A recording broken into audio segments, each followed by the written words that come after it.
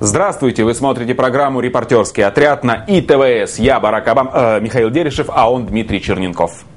Знаете, если председателя областной счетной палаты Андрея Саухина покрасить в блондина и снять на мобильный телефон, то он станет похож на крутого парня Леху Навального. Дело в том, что на днях Андрей Саухин в областной думе представил широкой общественности острейший, разоблачительный, бескомпромиссный, смертельный, убийственный, сенсационный, драматический, фатальный, ужасающий, беспрецедентный, шокирующий, оскароносный, убери флер, доклад. Доклад, посвященный чиновникам правительства области, которые, согласно Андрею Саухину, разбазарили полтора миллиарда в 2010 году. От данных, которые раскрывал Андрей Саухин, стыли волосы и кровь вставала дыбом. Мошенничество, жульничество, серые схемы, нецелевое использование бюджета, индекс дефляторов. Вы просто послушайте, что говорит бесстрашный Андрей Саухин. Общая цена трех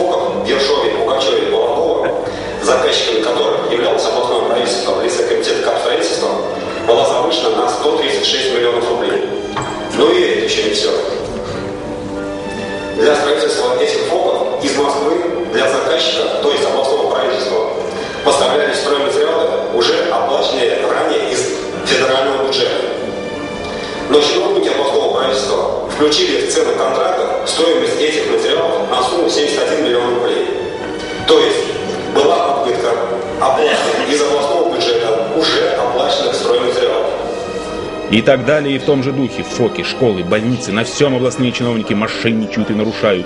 Правительство области не пожалело даже набережную Волги. Андрей Саухин похудел на 3 кило, узнав об этом. Как это было после проверки реконструкции берега укрепления в Саратове, работы на котором должны были закончиться еще в 2010 году, до окончания там еще далеко. Счетная палата обнаружила завышение цены контракта на 808 миллионов рублей по сравнению со сметой, утвержденной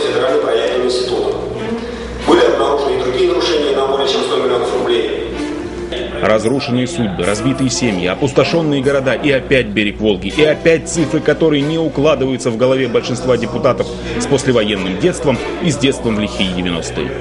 Это первый участок очереди, который должен был быть готов и сдан за 291 миллион рублей, согласно заключению глав госэкспертизы. Но счетная палата выявила, что на этот участок чиновники областного правительства потратили не 291, а 440 Надо сказать, что губернатора в Думе не было, и Саухин стрелял в основном в членов правительства. Но мелкокалиберному Андрею Саухину было сложно пробить такой авианосец времен Второй мировой войны, как зампред по экономике Алексей Щербаков, который тем более сегодня в ларьке на Сином купил себе новый телефон с цветным экраном и функцией Bluetooth. Эти люди безнадежны, ставит диагноз товарищ Саахов, простите, Саухин. Комитету капитального строительства было выдано предписание с описанием всех обнаруженных нарушений. Председатель комитета строительства дал ответ о полном согласии с выводами счетной палаты. Но потом, после того, как вышестоящий руководитель областного правительства перед СМИ стал врать о том, что цифры взяты с потолка, и председатель комитета начал оправдываться на сайте областного правительства.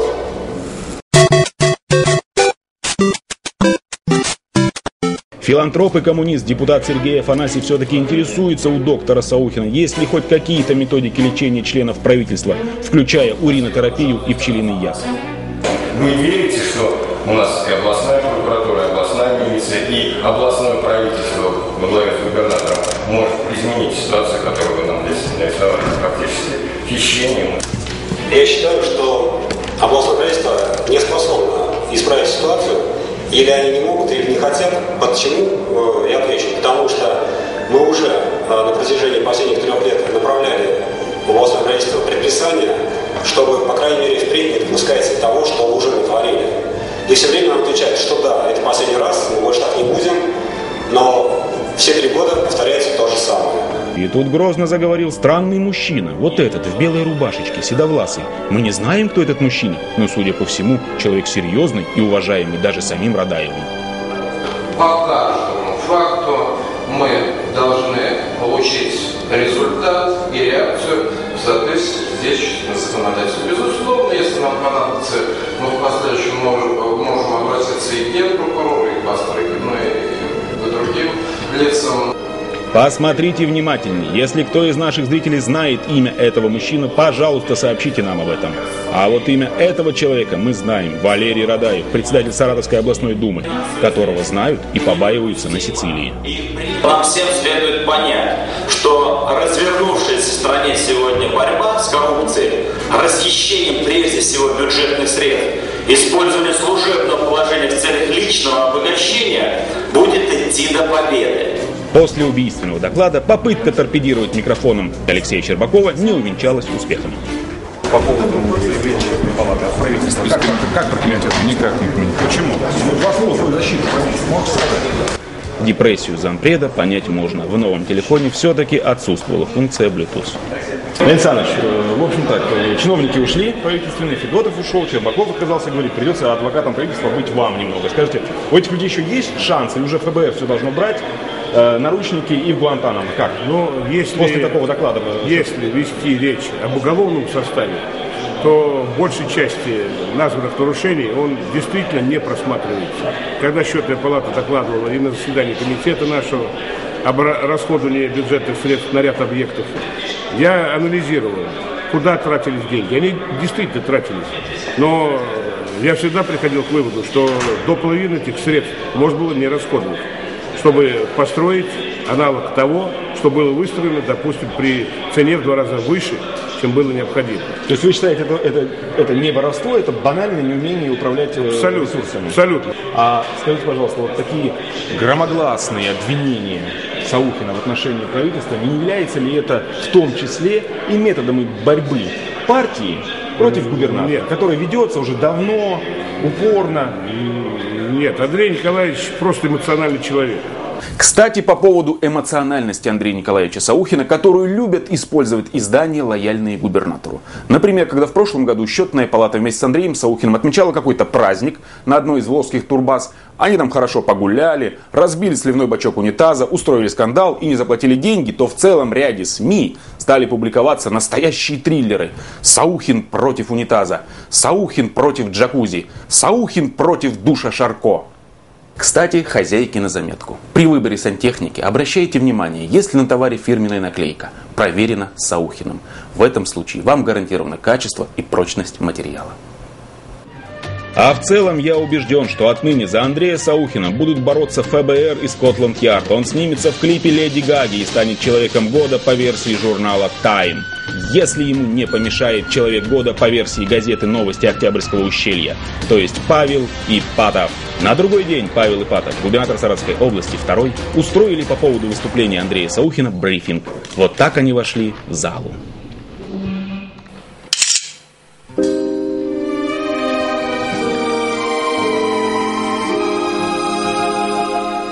Надеюсь, теперь всем понятно, почему Павел Ипатов входит в тридцатку самых сексуальных мужчин правительства области.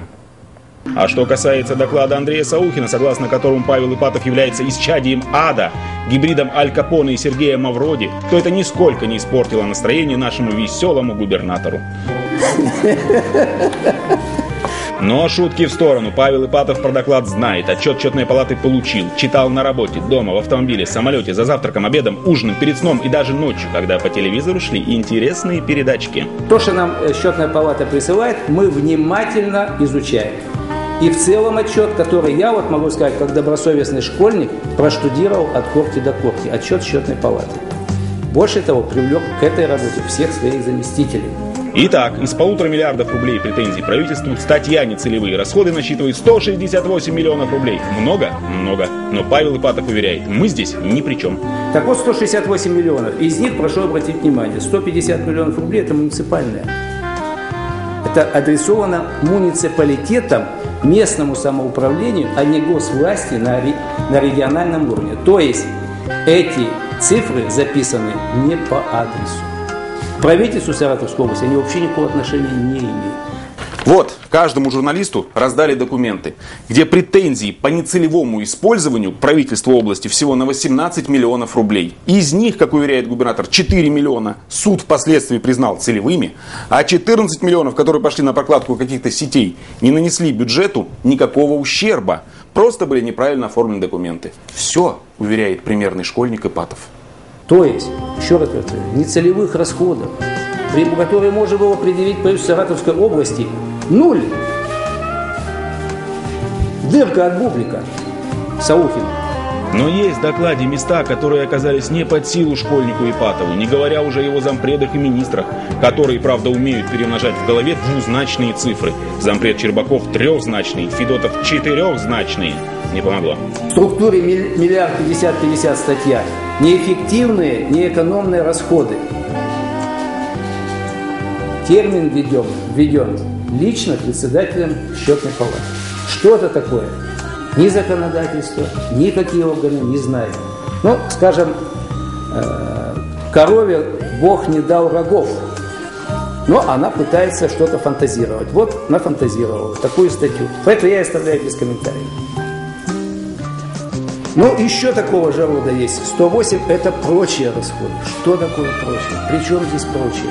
Но, тем не менее, вот такие есть. И вот это миллиард 550 э, миллионов рублей. Подчеркиваю, нецелевых расходов нуль. Как уверяет губернатор, в 2010 году 13 раз правительство судило за счетной палатой, 10 судов выиграло правительство, еще 3 суда продолжаются. В общем, судя по всему, ждет счетную палату еще один суд. Наш губернатор человек хоть и веселый, но строгий и внимательный. Телевизор с Саухиным смотрел, все в бумажку записал. Значит, и еще на одну фразу обращу внимание. На сумму миллиард пятьсот пятьдесят миллионов. Цитирую по выступлению э, счет, э, председателя счетной палаты. Это миллиард пятьсот пятьдесят миллионов. Из этой суммы чиновники оспорили всего лишь 57 миллионов. Все остальные нарушения на общую сумму миллиард пятьсот миллионов рублей остались. Они подтверждены в том числе и судом. Это чудовищная ложь. И все это тянет на клевету. Спасибо за внимание.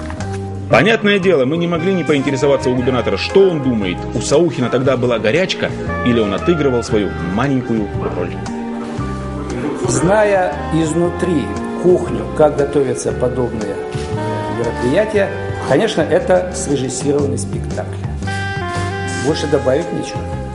Я абсолютно разделяю ваше стремление желать приступов диареи чиновникам области каждодневно, чтобы они двигались чуть побыстрее. Но дело в том, что Андрей Саухин не только председатель счетной палаты, но и верный, преданный человек Валерия Радаева. А Дума у нас и Валерий Радаев под предводительством заслуженного дрессировщика Вячеслава Володина ведет долгую упорную войнушку с губернатором. И в этой войнушке все средства хороши. Даже такие арбалеты типа Саухина. Но будущий человек года по версии журнала «Тайм» Андрей Саухин не боится обращения в суд Павла Ипатова. Андрей Саухин вообще довольно смелый молодой человек. В перерыве между съемками клипа с Леди Гагой он согласился нам дать блиц-интервью. Смотрите. Не, не, не надо. Я сначала подумаю. А что думать? Вчера губернатор сказал о том, что все, что вы наговорили на Думе, это клевета практически. Но вы даже думаете, чтобы подавать в суд. Вы как не своей решительности на Думе уже не, не, не, это, не, не думаете, что ошиблись с такой решительностью? Обвинение полтора миллиарда, все такое прочее. Давайте вы лучше хотя бы через полчаса, что ли, я хоть подготовлюсь. Почти самый простой вопрос. Губернатор сказал, что это клевета. Это клевета или, или нет? Или вы докажете в любом суде, что это все правда, все, что вы говорили? Да, все, что я сказал на докладе угу. в областной думе, все это имеет место быть. Имеет место быть. Хорошо. То есть вы не боитесь того, что они сейчас там подумают у себя с юридическим отделом и подадут в суд на счетную палату? Не переживаете? А, реагировать да. это его право. Угу. Но дело в том, по моему мнению, что он реагирует неправильно. Угу. А, вместо того, чтобы принять меры по улучшению финансовой ситуации в нашем регионе, угу. он начинает оправдываться, как всегда. Угу. Я уверен, что ничего, никаких мер по улучшению финансовой стабильности в регионе не будет. Не будет. Ага. Так он не оправдывается, он документы показывает, говорит нуль, говорит Саухину, нуль, дырка от бублика.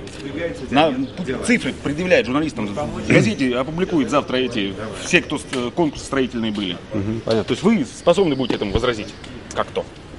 Тоже своими документами, с выкладками. Я только это хочу узнать. Просто это интересно. Да.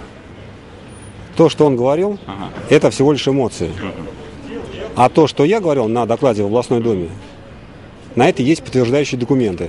И я готов их предоставить. И в прокуратуру, и другие правоохранительные органы. Все э, те факты, которые я говорил, составление фиктивных документов, нанесение ущерба бюджету, а также нарушение законов самим губернатором, все это место, имеет место быть. Понял. И все это подтверждено актами. Все, большое спасибо, Андрей Николаевич. Э, Такой пр- простой вопрос. А вы с Валерием Васильевичем Радаевым давно знакомы? Ну, Давно, да? пять лет. Пять лет? А вы не родом, не с Волынска разве? Оттуда. Оттуда, да? Там знакомы были? Нет, Вообще не были знакомы? там? нет. От него вас сюда позвал в Саратов работать? Нет, я в Саратове уже был. Я с, А вы его позвали? а, Нет? Просто хочу узнать, там, ну, давно с человеком знакомы. с окончания школы Ага. я живу в Саратове. Ага. То есть Радаева не знали в Хованске? Я учился, потом работал в Саратове. С Радаевым работали в Хованске? Нет, В Саратове работали? а в Россельхознадзоре. А Работал. Кем вы у него были? А, ли? гла- главным бухгалтером. А, а потом он стал в Думе председателем, и вы стали счетной палаты председателем, да? Да. Ну хорошо, не забыл человек своих. Все, спасибо, уважаю дружбу таких людей, которые, ну, работал в Россельхозе и потом позвал. Ну, молодцы, сохранили хорошие отношения с ним. Все, большое спасибо за интервью. А вы откуда? Э, мы с, э, сказать, с BBC не поверит. Ну, Вы из Москвы, что ли? Ну, я в Гамбурге был. И не только. Да нет, саратовские мы. Местные, местные. Итак, редакция репортерского отряда на ИТВС не несет ответственности за сказанное. И помните, все политики и чиновники, которые идут на интервью с репортерским отрядом, становятся желанными и популярными, как Чичолина. Все политики и чиновники, которые бегают от камер репортерского отряда, уходят в небытие, и их не могут потом вспомнить даже некогда близкие товарищи по партии, как это случилось с некогда популярным персонажем Андрюшей Абдулиным. До встречи.